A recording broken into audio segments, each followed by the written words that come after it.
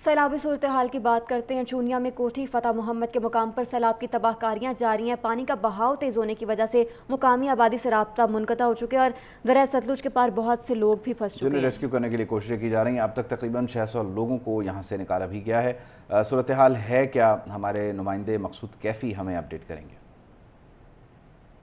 सतलुज के अंदर भारत की आबिद जारियत का सिलसिला जारी है। सैलाब की बड़ी तबाहकारियाँ सामने आ चुकी हैं। इस वक्त मैं मौजूद हूँ कोठी फतेह मोहम्मद के मकाम पर, जहाँ पर इस वक्त जो रेला है पानी का, वो एक लाख चौदह हज़ार के क्यूसेक के करीब गुजर रहा है जिसकी वजह से जो रबता है वो मुनकता हो चुका है यहाँ की मकामी आबादी का। कुछ लोग बाहर फंसे हुए हैं जिनको निकालने के लिए रेस्क्यू ऑपरेशन किया जा रहा है। रेस्क्यू की टीमें इस वक्त अपनी कश्तियों के हमरा मौजूद हैं और जो पार फंसे हुए हैं लोग अपने घरों के अंदर, उनको रेस्क्यू किया जा रहा है। एक जराये के मुताबिक तीन दिन के अंदर 600 के करीब जो लोग हैं, उनको वहाँ से निकाला जा चुका है। लोगों की जो फ़सलें हैं, वो तबाह हो चुकी हैं। लोगों के जो घर हैं वो गिर चुके हैं पानी की वजह से। काफ़ी जो नुकसान है, इस वक्त वो सामने आ रहा है। अभी भी रेस्क्यू ऑपरेशन जारी है और मजीद रेस्क्यू काम के मुताबिक आइंदा जब तक ये पानी की सतह कम नहीं होती, यहाँ पे